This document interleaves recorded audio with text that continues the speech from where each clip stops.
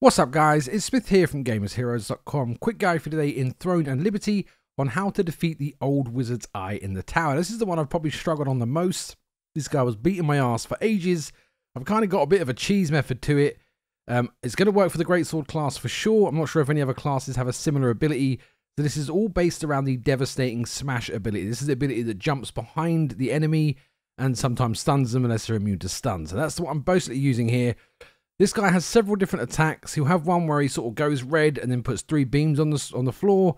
They're easy enough to dodge. When he starts thumping on the ground like he did just there, that's um, does more damage the closer you are. This is the attack you're looking for. That big one there that's it, one hit kills everything. Like I can't survive it. I'm not sure if someone better spec can.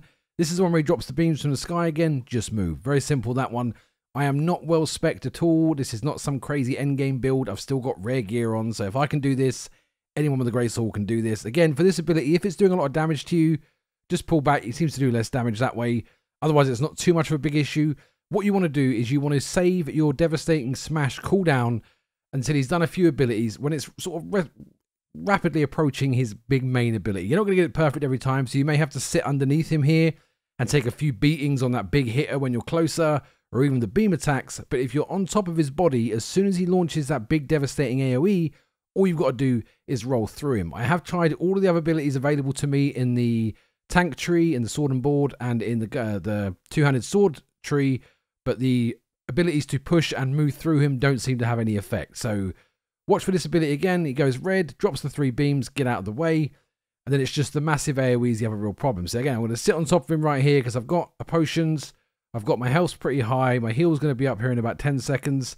So I'm, I'm confident my character build can sustain this damage here. You might not be able to, so it might have to be a bit more precise from your end. But again, I'm just sitting here waiting for that big ability. This is where it really hurts when you're close to him and he's doing that. It can do a lot of damage. Here it is. Dodge out of the way. Job done. Hopefully this works for you guys. I'm sorry I haven't got any other class guides. I will look at some other classes when I've got a bit more further into the game. But that's it for now. Nice and quick, nice and easy. Get what you need to get back to the game. If we helped you out today, do like, subscribe. We do appreciate it. And I'll see you in the next one. Take care now.